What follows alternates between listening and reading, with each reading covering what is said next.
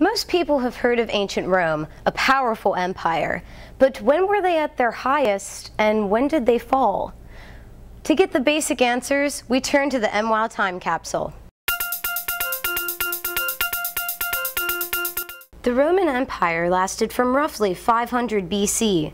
That's 500 years before Christ till about 476 AD.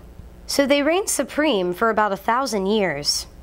The Romans were very advanced, with everything from paved roads, running water, and indoor plumbing. They also built schools and libraries. They were able to do such massive building projects because the Romans maintained slaves from the many tribes and lands they conquered throughout their reign. Now, at first, Rome was a republic with representative government like we have in the US. But then they became more of a dictatorship under emperors like Julius Caesar. While the Roman Empire extended from England and most of Western Europe to northern Africa and parts of the Middle East.